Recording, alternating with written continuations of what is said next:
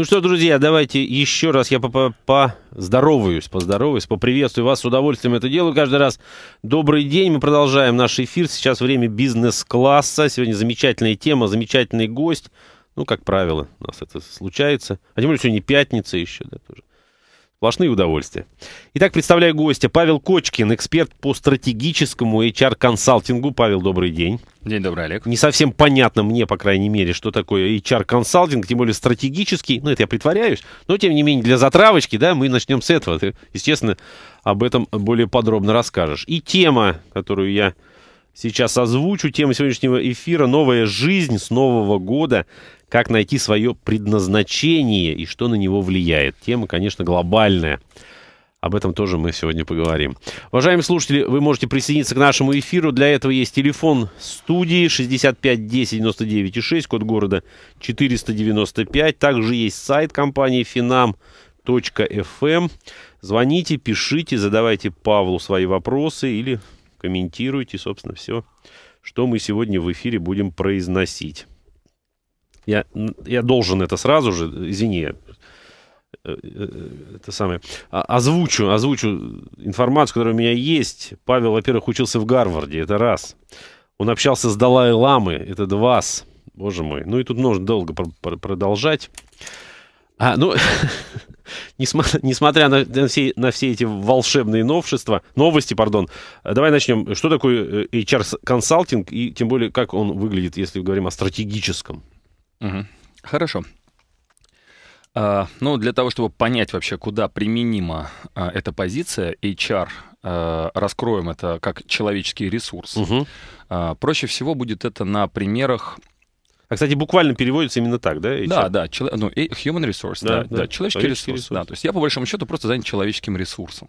Причем, как выяснилось, уже очень давно, еще начиная с психфака МГУ, с возраста там 16 лет, 15, когда ходил туда в школу юного психолога. Uh-huh.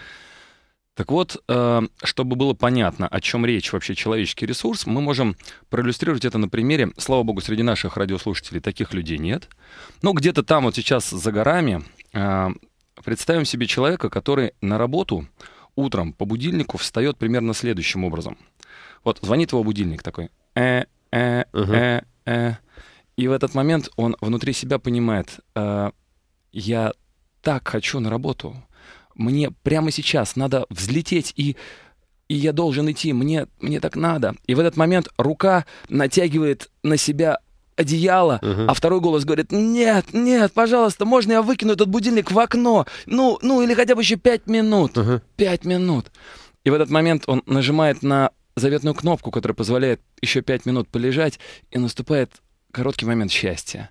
Счастье и удовольствие от того, что еще пять минут точно можно полежать. И длится этот, этот короткий момент не пять минут уже. Иногда, да. Как иногда. показывает практика. Конечно, да. Потом уже второй раз нажать третий. И, слава богу, среди наших слушателей таких людей нет. И обычно процесс вставания выглядит так. Одеяло подлетает вверх, висит в воздухе. Пока оно висело, человек выстреливает и думает, о боже, почему я спал? Я же пропускаю свое любимое дело. Я же побежал скорее уже делать. Я, а, проспал еще несколько часов. Наконец-то утро, наконец-то утро, боже мой. Да, наконец-то утро. Как я мечтал об этом. Да, и любимый день у них, конечно же, понедельник с утра, когда наконец-таки можно полноценно включиться в работу. И вот это...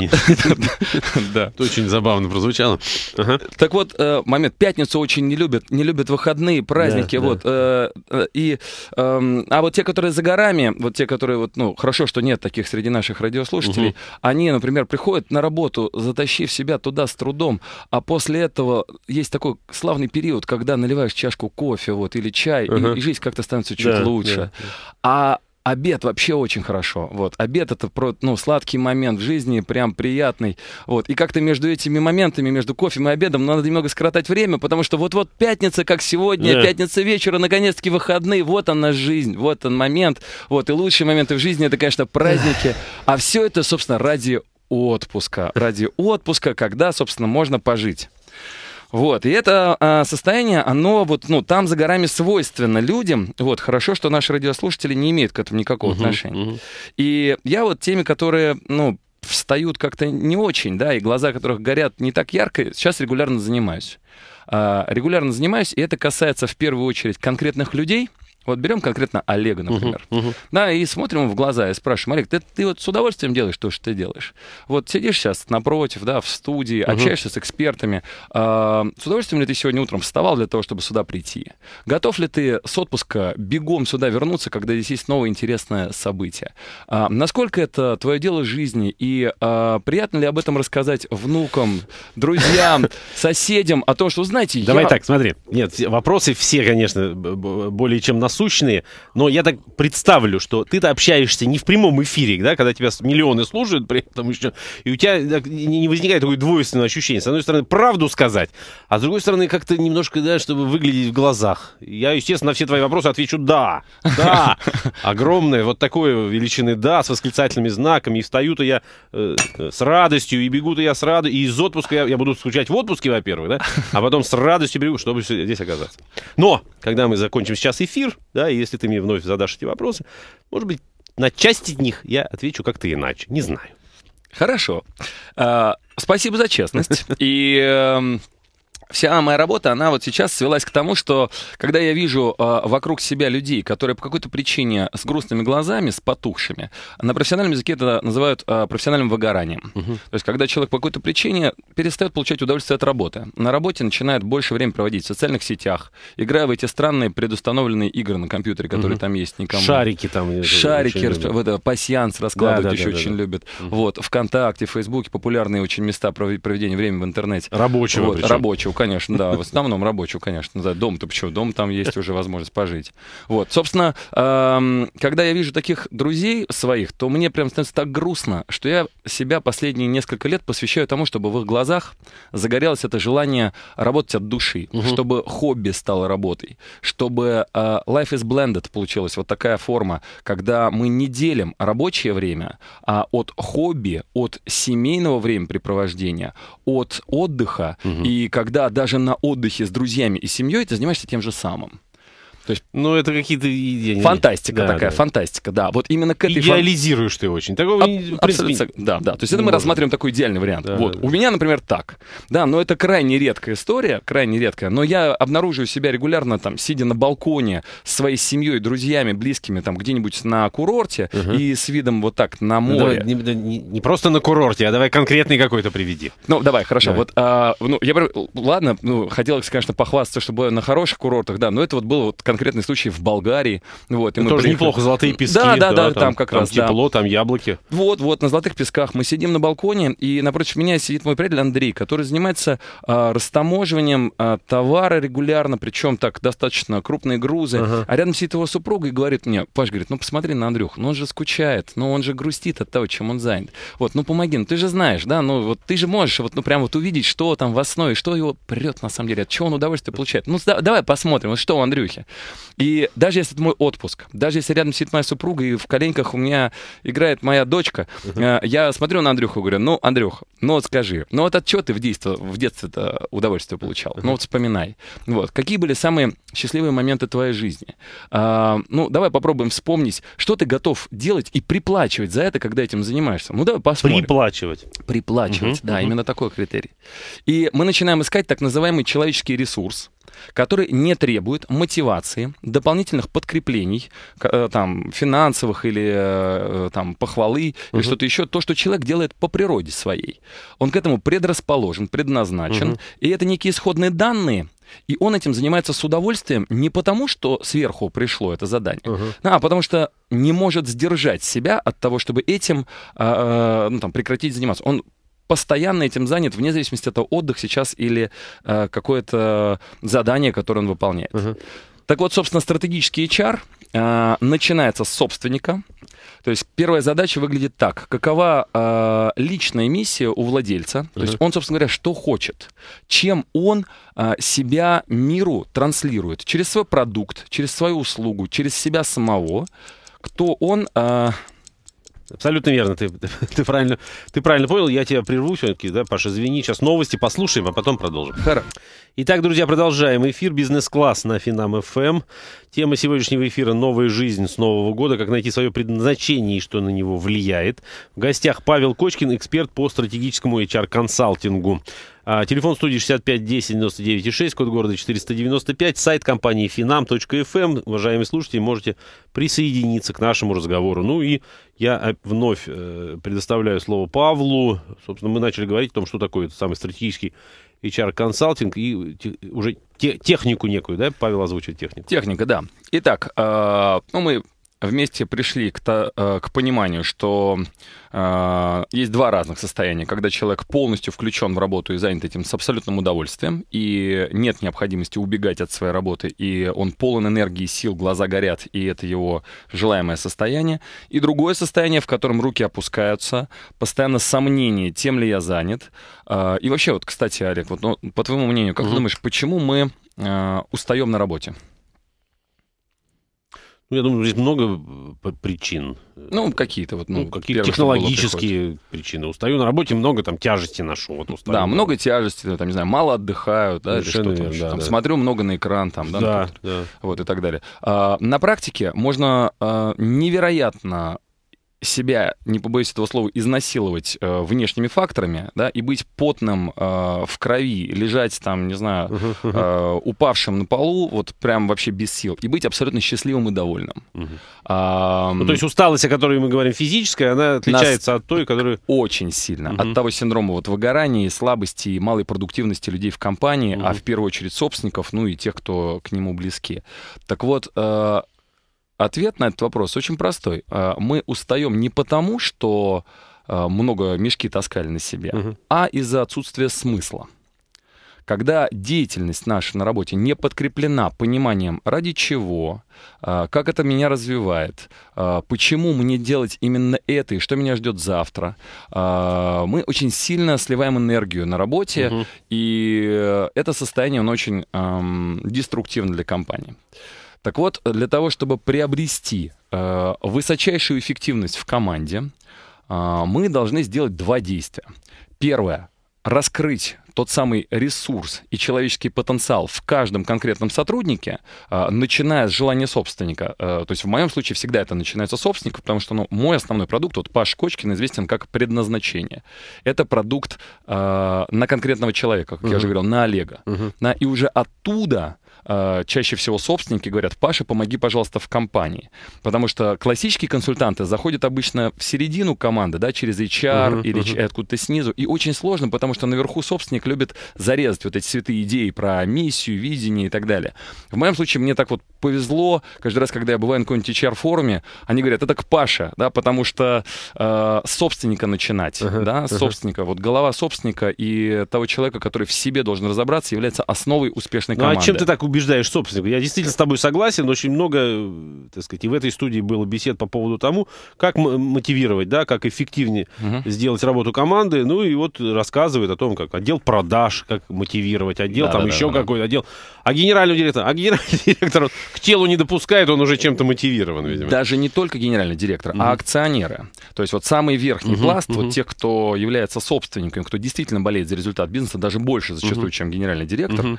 А, так вот, а, там возникают, а, ну давай так, вот а, Значит, сводим еще раз. Значит, два, два вопроса, которые мы решаем. Первый uh-huh. вопрос это мотивация конкретных людей, uh-huh. включая собственников, акционеров, там, CEO, да, и там сотрудников. Второй вопрос это как если мы вдруг, если вдруг нам удалось, если вдруг Паша молодец и раскрыл потенциал каждого конкретного человека, и у него горят глаза, он uh-huh. готов с радостью заниматься, вот, и он прям вот готов приплачивать за ту деятельность, которой он занимается, если вдруг в компании все начнут так себя вести, что вообще произойдет с компанией?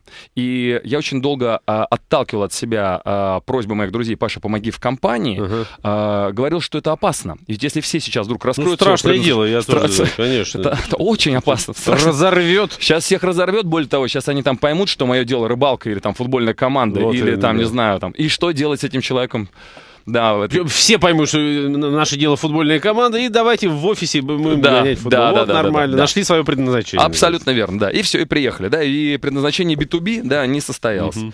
Так вот, значит, вот эти две задачи. Первое, раскрыть человеческий потенциал. Второй, не развалить компанию, команду в этот момент и так далее.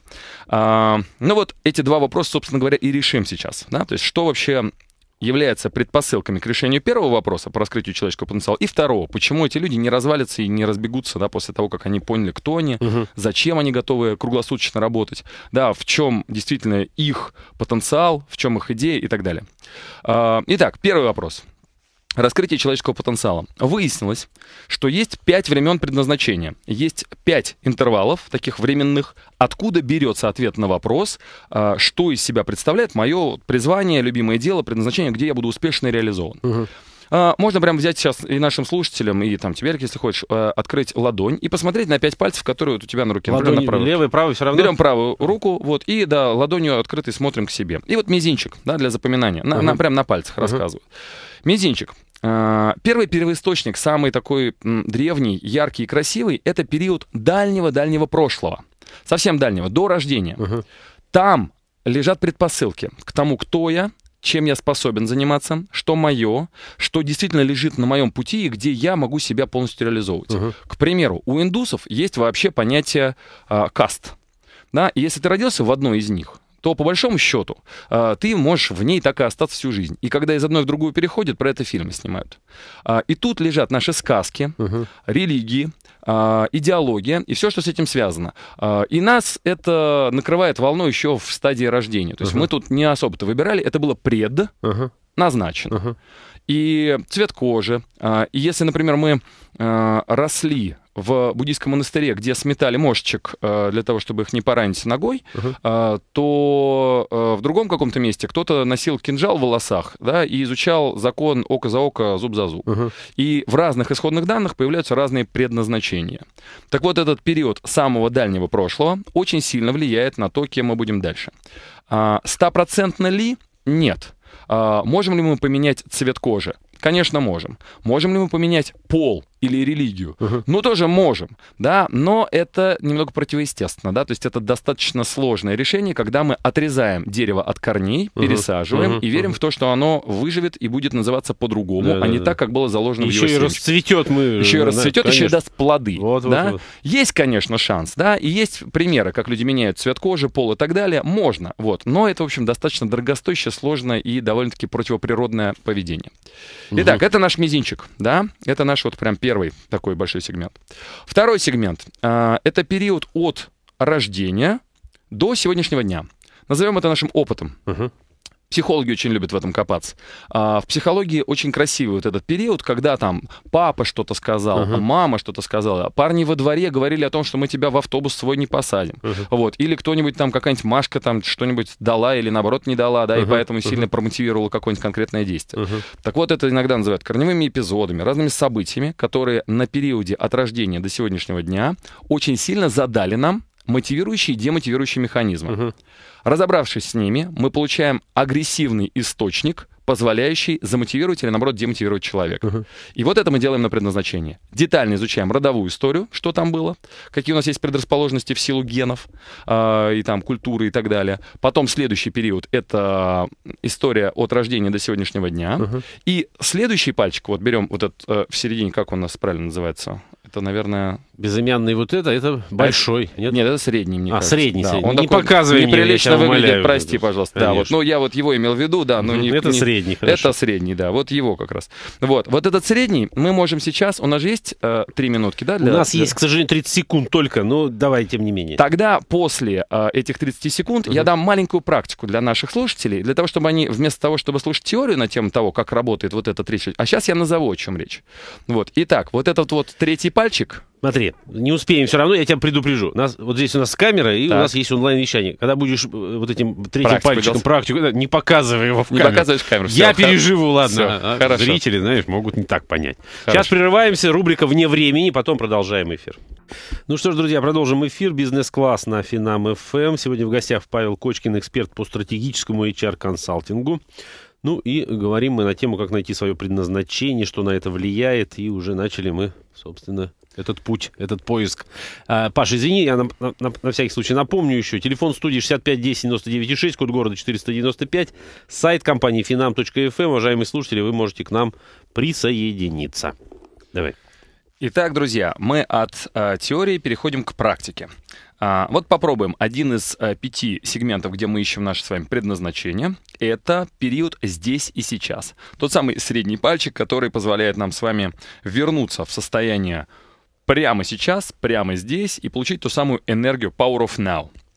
Для того, чтобы ее понять, а, сейчас вам предстоит очень необычное поведение. Если вы привыкли слушать радио и при этом никогда не участвовать в том, что там звучит, а, то сейчас есть шанс сделать что-то по-другому. А, и, например, я сейчас выдам инструкции, которые... Вот я обращаюсь сейчас к каждому, кто слышит мой голос к каждому э, сделать маленькую практику. Она будет очень ценной и полезной вам по жизни. И мы поймем, что такое присутствие в моменте. Очень быстро и просто.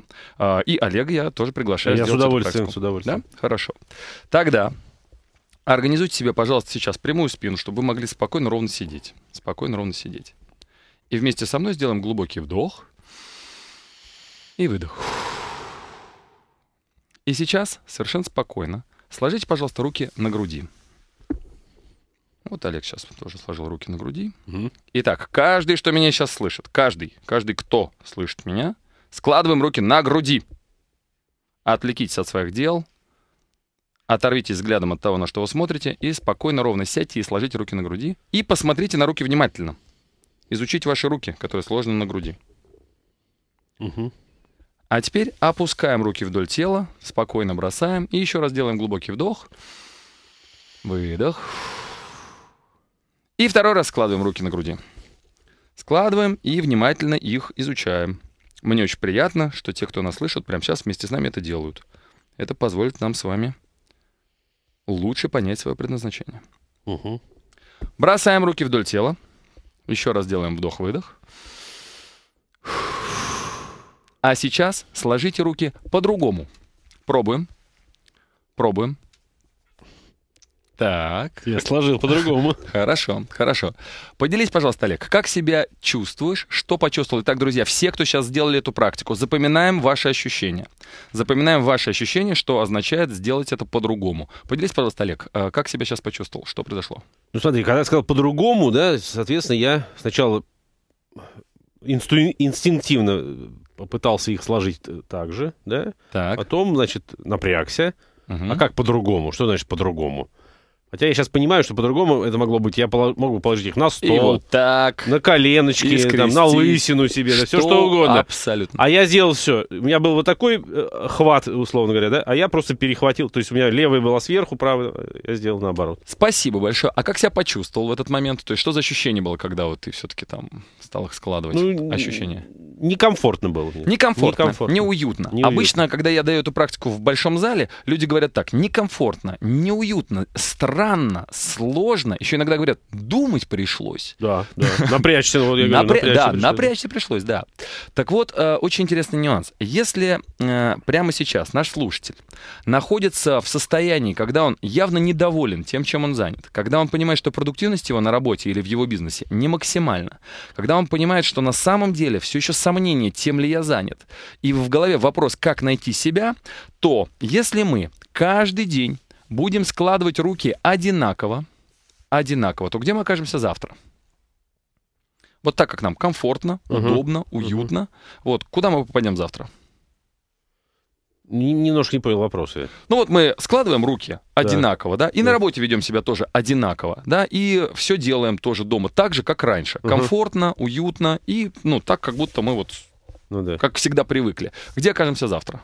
Там же, где и всегда. Там же, где и всегда, абсолютно да. верно, Олег. Да, то есть мы будем там же. То есть если делать то же самое, то будет, ну, вот то же самое А, будущее. я понял, к чему это. То есть нет некого развития, что ли, в, в Конечно, конечно. То есть иди... Но с другой не, подожди, но с другой стороны, мне комфортно, и завтра мне комфортно, и послезавтра мне комфортно, и зачем мне тогда развитие это нужно? Абсолютно не нужно. То есть в том случае, если ты сейчас находишься в состоянии, что ты абсолютно доволен своим предназначением, да. своей реализацией, да. зарабатываешь достаточное количество денег, команда работает прям вот все веслами в одну сторону гребут, uh-huh. супер замотивированы, вы лидеры по рынку, вот, и ваше название компании Apple, там, Семка или кто-нибудь еще там, uh-huh. кто является лидером, вот, супер. Наоборот, как раз вы находитесь в том самом, только уверяю, скорее всего, они находятся регулярно в состоянии дискомфорта. Для них только это уже стало нормой, да, постоянное развитие такое.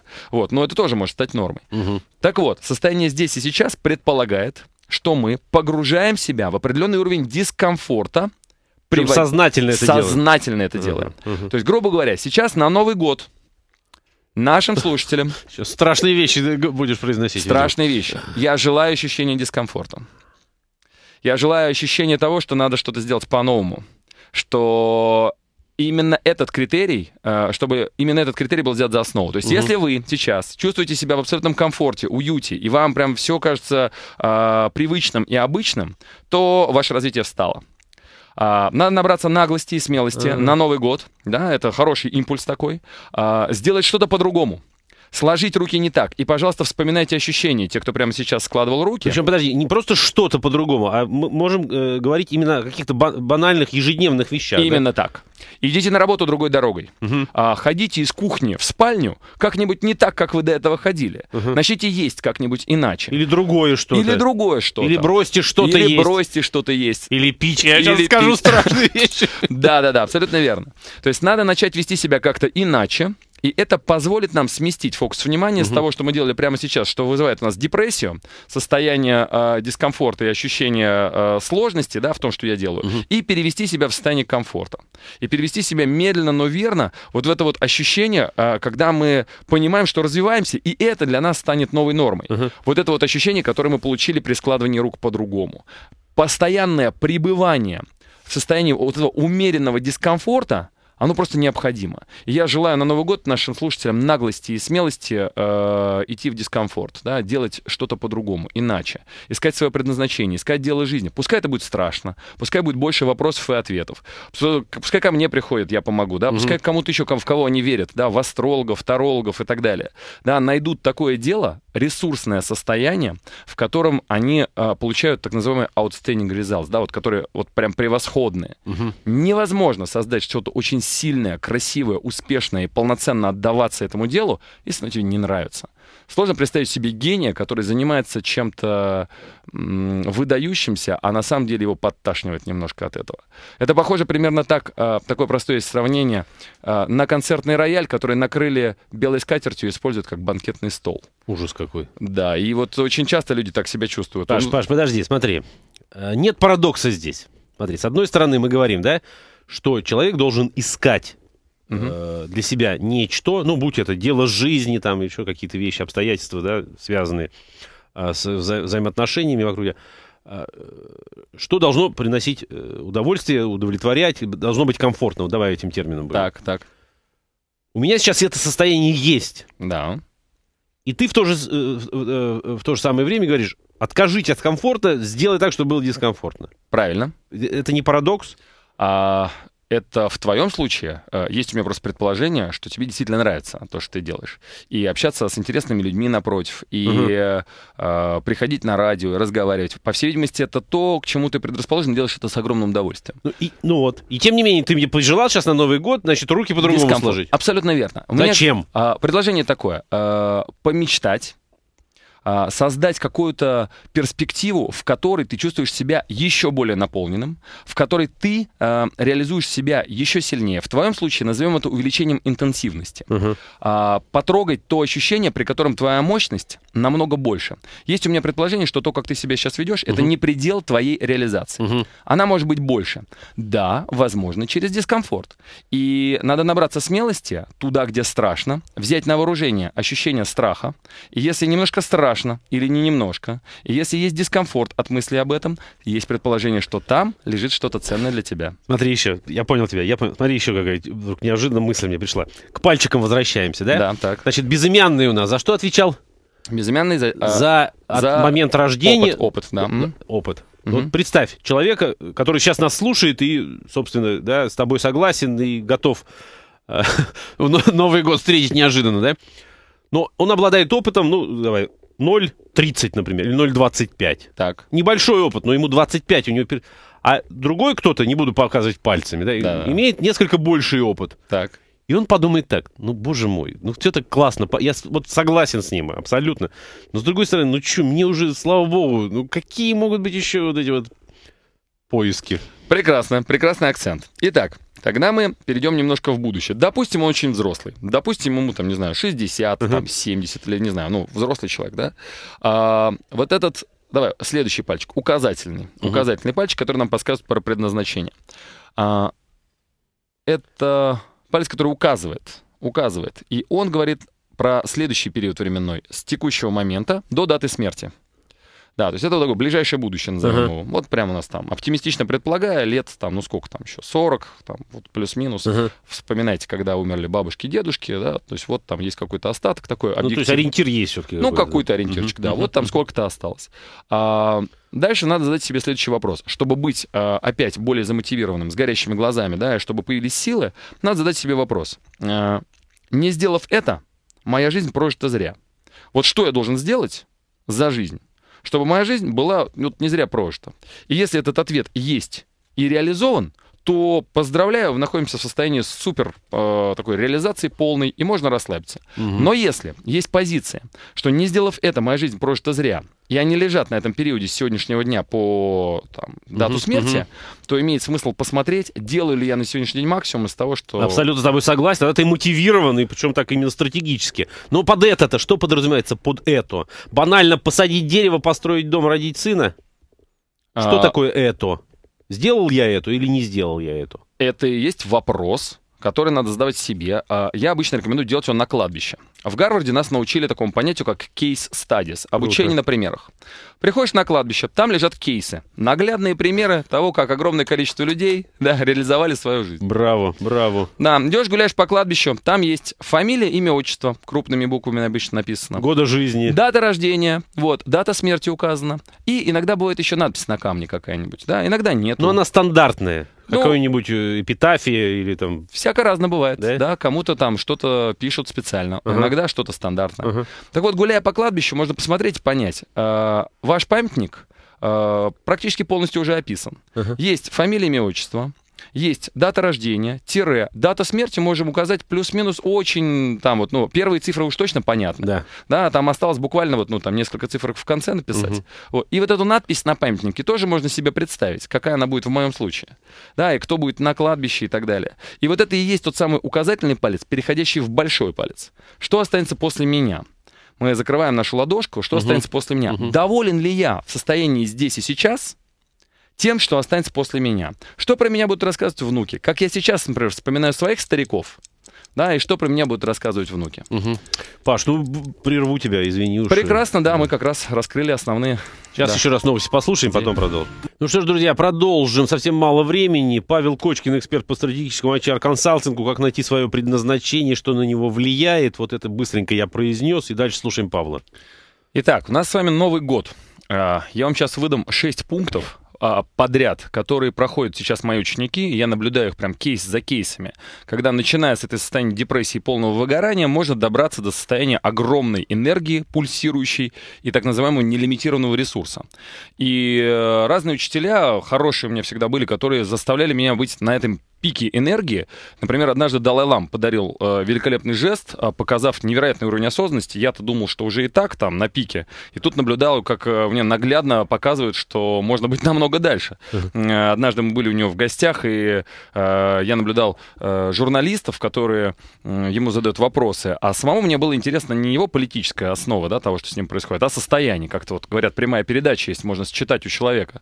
И в этот момент, сидя с ним рядом, э, я обнаружил, что ему э, задает вопросы, он на них очень внимательно отвечает и при этом сохраняет тотальную осознанность, в том числе и к телу. Угу. Вот мы проходили сейчас наш этот третий пальчик, да, вот этот удерживать все пять пальцев а, в моменте, то есть схлопнуть все свое будущее и э, прошлое, и дальнее, и, и дальнее прошлое, и дальнее будущее, все схлопнуть в моменте, вот наше искусство, которым предстоит нам овладеть э, на Новый год. Так вот, э, на примере с Далай-Ламой, как он это делал, как было сконцентрировано все прошлое будущее в текущем моменте, его уровень осознанности, я вам покажу такой простой жест, к сожалению, э, аудиослушатели, да, и те, кто нас э, по радио сейчас слышит, не увидят этот жест, но посмотрите потом в прямом, э, в эфире на угу. Финам ФМ на да, сайте, да, да, там да, есть. Да, в архиве будет онлайн вещание. В архиве онлайн вещание можете посмотреть красивый жест подарил мне Далай-Лама. А, я сидел прямо напротив, на первом ряду, и наблюдал, что все время, пока он отвечает на вопросы, он делает вот так. Вот прям попробовать. Мне кажется, классный момент. Это два пальчика у тебя, Это да? два пальчика, вот, с двумя другими, вот так по очереди, и прям получается такая дорожка красивая. Вот он вот так вот делает. При этом не теряя осознанности, вот два пальца вот так. Я не могу разобраться. А, вот. Я да, тоже заморочился, ага, да. и прям стал за ним повторять. Думаю, ох, как интересно, что он делает. Да, так, так.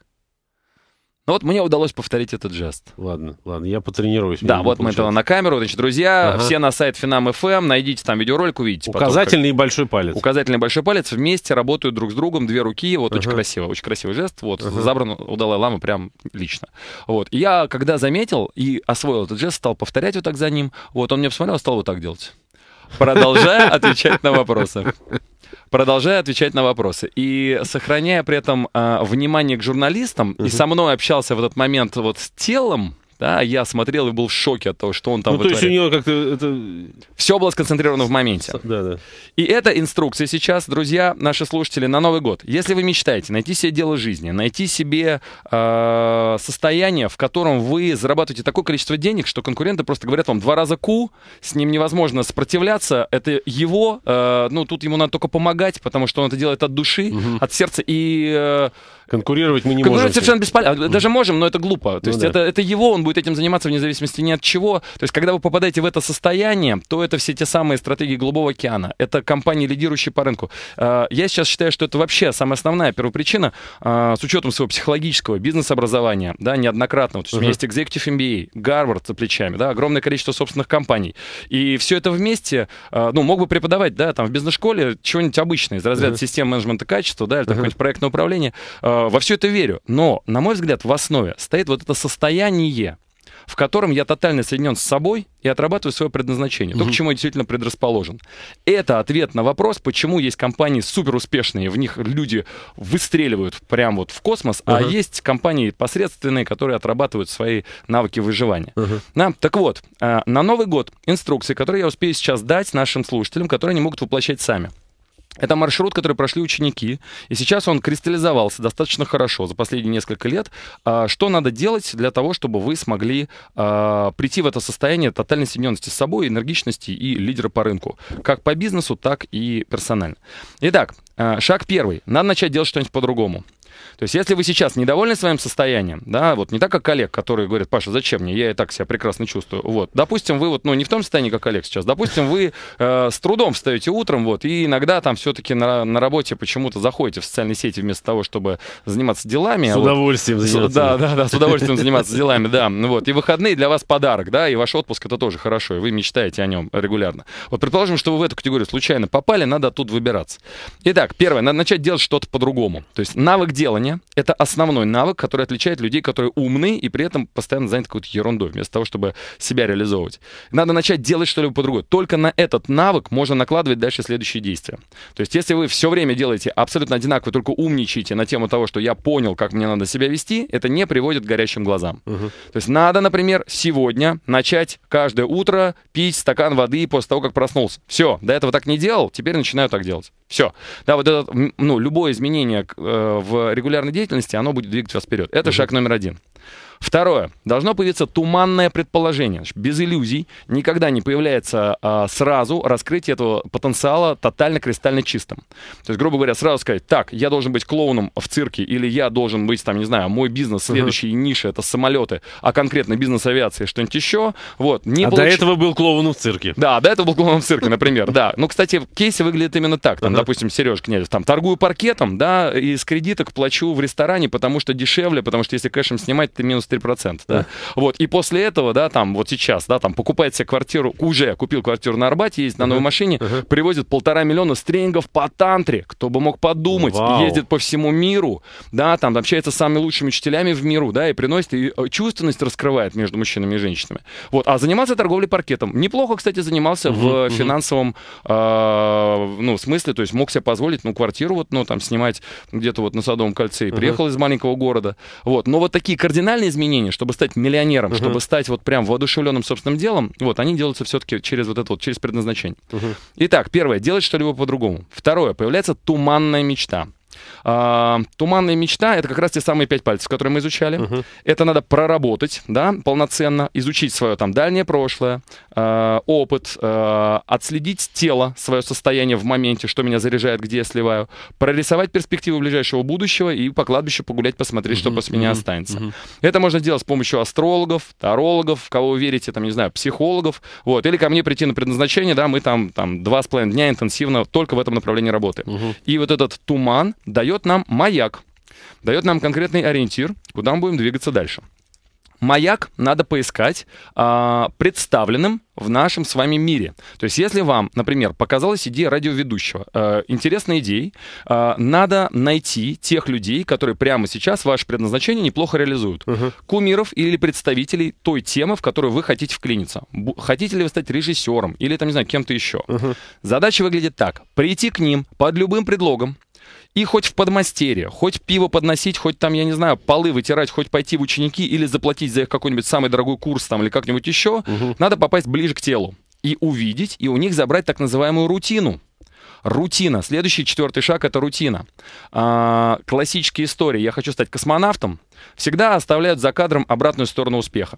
И тот музыкант, который срывает лавры в момент, когда он стоит на сцене, и в него летят мокрые трусики, да, и фотографии там со всех сторон падают, там, не знаю, у него эти, он на них подскальзывается. Ну, короче, в общем, да, в такой момент, такой прекрасный эйфорийный, он, к сожалению, э, две минуты из его жизни, да, или там 10 Всего минут. лишь. Да, 10 минут. Все остальное время человек, который выбрал этот путь, э, на гитаре в подвале играл, там, не знаю, резал струны с пьяным барабанщиком, mm-hmm. а потом ему тысячу раз отказывали продюсеры. Так вот, надо согласиться с этой рутиной, взять на себя ту рутину, которая позволит реализовывать предназначение. А, Следующий шаг — это состыковка с реальностью.